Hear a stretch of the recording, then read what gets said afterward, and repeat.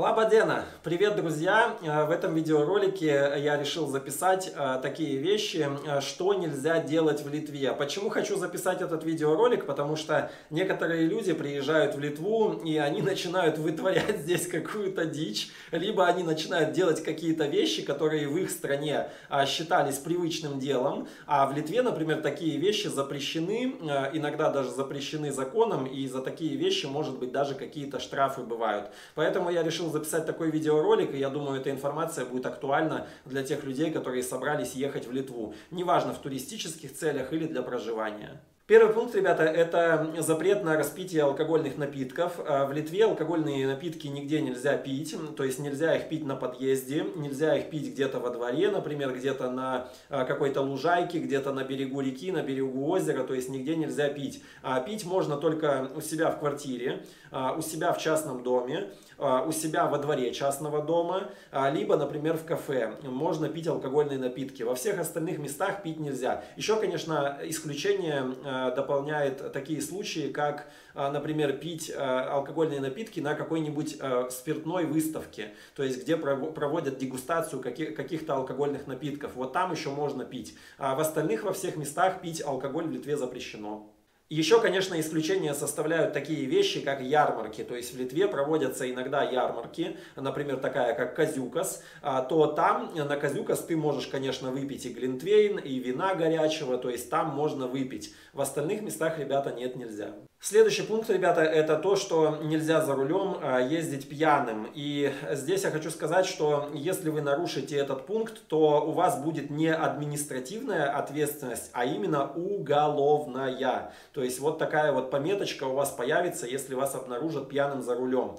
А поэтому с этими вещами в Литве лучше не шутить. И если вы выпили, то лучше наймите такси, либо позвоните другу с машиной, чтобы он вас довез. В принципе, в Литве почти все соблюдают эти меры, но иногда, знаете, полиция все-таки ловит а, пьяных людей за рулем. Но здесь с ними, знаете, не чикаются, здесь сразу им уголовку шьют, и все, и больше они таким никогда не занимаются, то есть отбирают у них там права и так далее. А также еще хочу обратить внимание на один такой случай, что в Литве а, даже на велосипеде запрещено ездить пьяным, потому что не так давно был случай, что а, мужчина пьяный ехал на велосипеде, и приехала полиция, то есть его остановили, и тоже там ему штраф сделали, тоже там в суд его потащили и так далее. То есть это все э, здесь в Литве не шутки. То есть если вы будете пьяными, люди обязательно это заметят, позвонят в полицию, и полиция быстро приедет и с вами разберется. Поэтому э, никогда не садитесь пьяными за руль в Литве. Следующий пункт, ребята, это то, что в Литве нельзя разговаривать по мобильному телефону, когда ты едешь за рулем.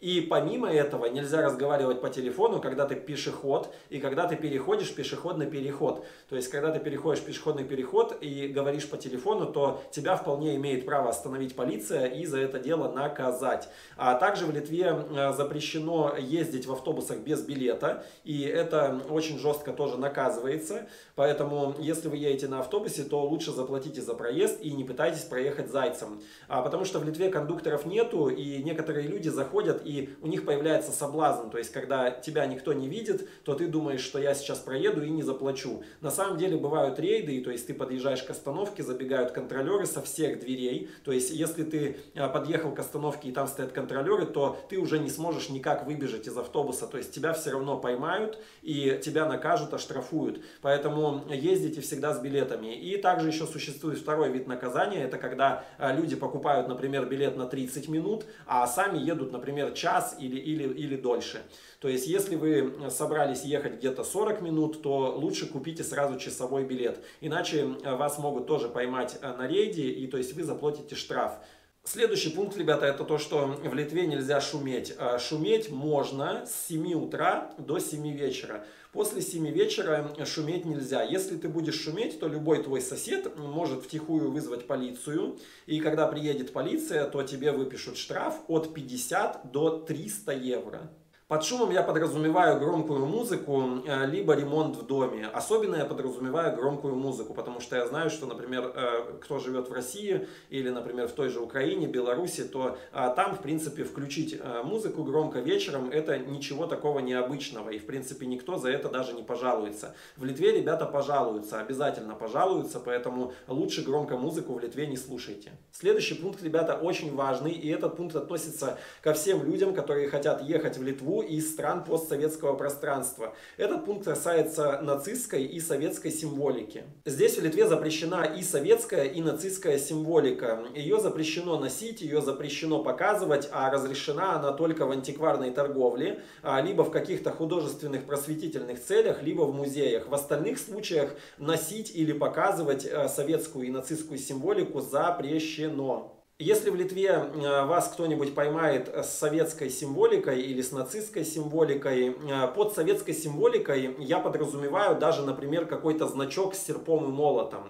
Либо какую-то наклейку, например, где серп и молот и какая-нибудь звезда изображена. То есть, если вас где-нибудь поймают с такой наклейкой или с таким значком на кофте, э, то вам грозит административная ответственность, штрафы, либо даже вас могут депортировать из Литвы и отправить в ту страну, из которой вы, например, сюда сюда приехали.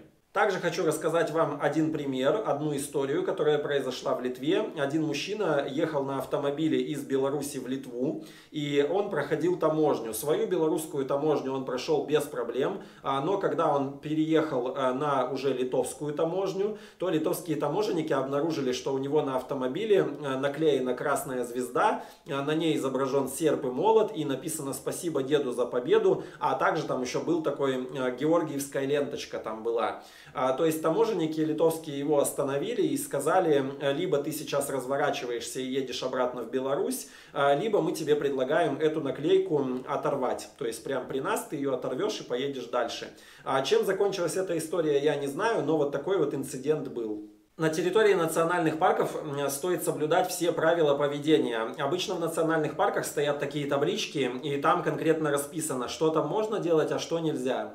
Чаще всего запрещено э, разводить костры, э, мусорить, ставить палатки, срывать цветы, травы, а также запрещено шуметь и пугать птиц и животных. С кострами в Литве вообще очень строго, то есть костры можно разводить только в специальных местах. Обычно эти места оборудованы, то есть есть такие а, выложенные круги из камней, и то есть в центре этого круга только ты можешь разводить костер. И то иногда бывает, ребята, что даже если вы видите такое место, то лучше у кого-нибудь поинтересоваться, разбираться, можно ли разводить здесь огонь или нет. Потому что, например, это место мог сделать кто-то, кто был до вас. То есть кто-нибудь нелегально а, положил камушки, развел костер и уехал. А тут вы подъехали, увидели это кострище и решили тут же развести огонь. И могут вас оштрафовать, потому что ну, тех людей, например, кто-то не заметил, а вас заметят и вас оштрафуют. Поэтому а, прежде чем разводить костер в Литве, лучше подождать, чтобы кто-нибудь рядом проходил или проезжал и спросить у этого человека, можно можно ли здесь разводить огонь.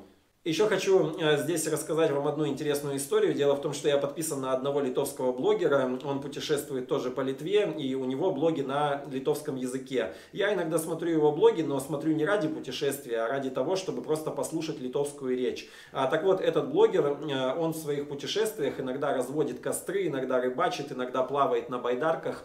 И ему однажды позвонила полиция не так давно, и он записал об этом видеоролик. Полиция позвонила ему и сказала, что они в его видеороликах заметили нелегальные действия.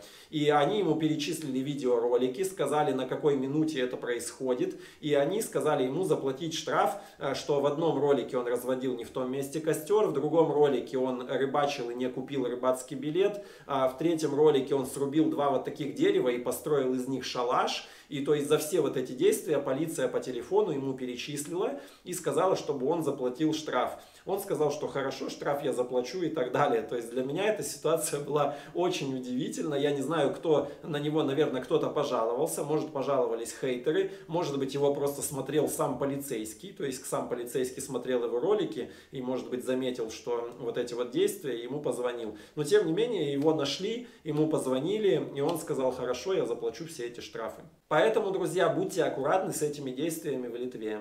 Следующий пункт, ребята, тоже очень интересный. В Литве даже в барах, в кафе, ресторанах и в других общественных местах запрещено курение. То есть даже в кафе вы не можете закурить сигарету. Курить можно только в строго отведенных местах. Обычно они помечены такими знаками.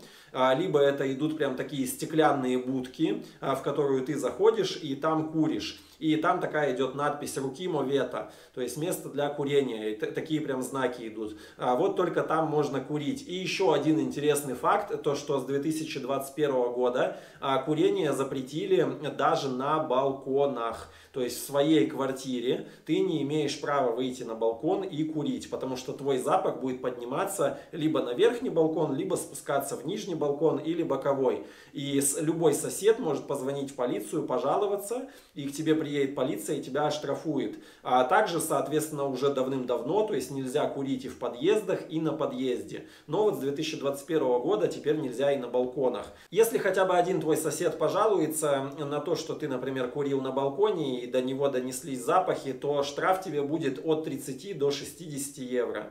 Следующий пункт, ребята, и это последний пункт. Э, в Литву запрещено ввозить э, лекарственные средства из э, каких-то стран третьего мира. К этим странам также относится и Россия, поэтому будьте внимательны. Если вы там возьмете какой-то парацетамол и поедете в Литву, то вас могут остановить на границе и либо не пустить, либо оштрафовать, либо еще что-нибудь другое. Поэтому прежде чем ехать в Литву с какими-то таблетками, желательно обратитесь в службу миграции Литвы и спросите, можно ли эти таблетки таблетки э, ввести на территорию страны. То есть там нужно спрашивать, но, знаете, большинство вещей сюда завозить нельзя. А также нельзя и из Литвы вывозить какие-то лекарственные средства в страны третьего мира. А то же самое, ребята, их нельзя отправлять по почте. Поэтому будьте внимательны, эти дела здесь в Литве тоже наказуемы, и штрафы составляют от 30 до 200 евро. И на этом у меня все. А, подписывайтесь на канал, обязательно напишите комментарии. Может что-то я сказал где-то неправильно, или может быть я еще забыл что-то сказать, что запрещено в Литве. В общем, пишите комментарии, ставьте лайки, подписывайтесь на канал. Висогяро Эки.